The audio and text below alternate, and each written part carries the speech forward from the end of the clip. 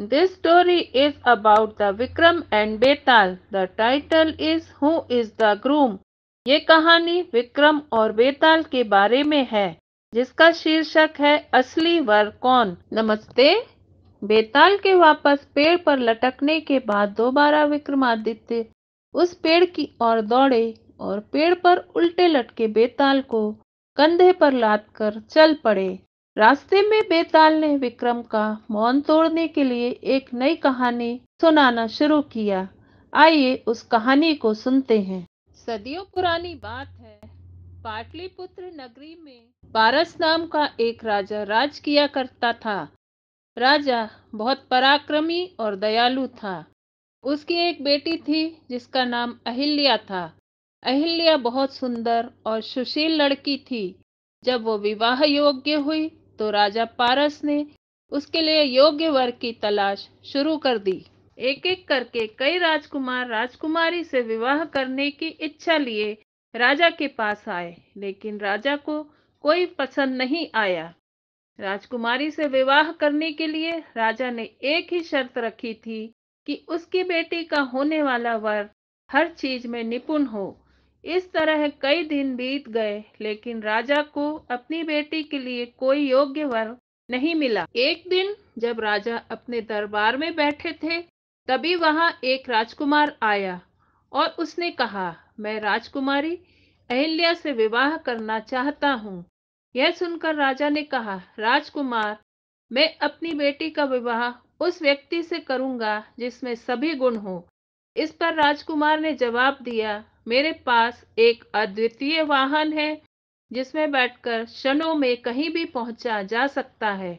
यह सुनकर राजा ने कहा, ठीक है, तुम कुछ दिन रुको, मैं राजकुमारी से पूछकर तुम्हें जवाब दूँगा। कुछ दिनों बाद एक और राजकुमार वहाँ पहुँचा। उसने राजा से कहा, मैं भूत, वर्तमान व भविष्य तीनों काल देख सकता हूँ। मैं चाहता हूँ कि राजकुमारी का विवाह मुझसे हो राजा ने उसे भी इंतज़ार करने को कहा। कुछ दिनों के बाद राजा पारस के पास एक और राजकुमार उनकी बेटी का हाथ मांगने आया। राजा ने उससे पूछा कि, तुम में ऐसा क्या गुण है जो मैं अपनी पुत्री का विवाह तुम्हारे साथ करूँ? राजकुमार ने कहा, राजन, मैं तलवारबाजी में निपुण हूँ। मेरी तलवार के सामने कोई भी टिक नहीं सकता है। राजा ने उससे कहा, बहुत खूब। राजकुमार आप कुछ दिन प्रतीक्षा करें, मैं अपनी बेटी से बात करके आपको जवाब दूँगा। अब राजा असमंजस में पड़ गया कि तीनों ही राजकुमार गुणवान हैं, लेकिन वह तीनों से तो राजकुमारी की शादी नहीं कर सकता। तो अब सवाल यह था कि राजकुमारी का विवाह किससे होना चाहिए? वहीं दूसरी ओर एक भयानक राक्षस राजकुमारी अहिल्या पर नज़र लगाए हुए बैठा था। और एक दिन मौका मिलते ही वो राजकुमारी को उठाकर ले गया। यह खबर जैसे ही महल में फैली तो राजा, रानी और तीनों राजकुमार एक जगह इकट्ठा हो गए। तीनों काल देखने वाले राजकुमार ने बताया कि वो राक्षस राजकुमारी को नंदा देवी पर्वत पर ले गया है। इस पर पहले राजकुमार ने कहा, मैं अपना वाहन लेकर आता हूँ। हम सब उस पर बैठकर राजकुमारी को बचाने नंदा देवी पर्वत पर जा सकते हैं। तीसरे राजकुमार ने अपनी तलवार निकाली और कहा, मैं उस राक्षस को मार गिराऊँगा। इसके बाद तीनों राजकुमार वाहन पर बैठकर नंदा देवी पर्वत की ओर चल पड़े।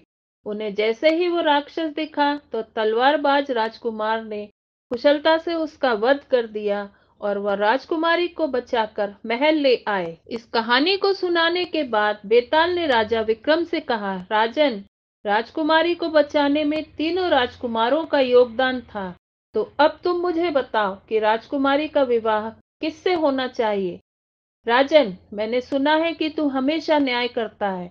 जल्दी उत्तर दे, वरना तेरे सिर के टुकड़े टुकड़े कर दूँगा। इस पर राजा विक्रमादित्य ने उत्तर दिया कि राजकुमारी का विवाह तलवारबाज राजकुमार से होना चाहिए, क्योंकि उसने राक्षस से लड़ाई करके राजकुमारी को बचाया और बाकी दोनों राजकुमारों ने केवल उसकी सहायता की। बस, फिर क्या था? जैसे ही राजा विक्रमादित्य बोला, बेताल उसकी पीठ से उड़कर फिर से पेड़ पर जा लटका। इस कहानी से हम यह सीखते हैं कि मुश्किल समय में साहस ही काम आता है। इसलिए मुसीबत को देखकर घबराए नहीं। हमेशा साहस दिखाकर उस मुश्किल से बाहर निकला जा सकता है। कहानी समाप्त। धन्यवाद। कहानी पसंद आए तो वीडियो को लाइक, चैनल को सब्सक्राइब और शेयर करना ना भूलें।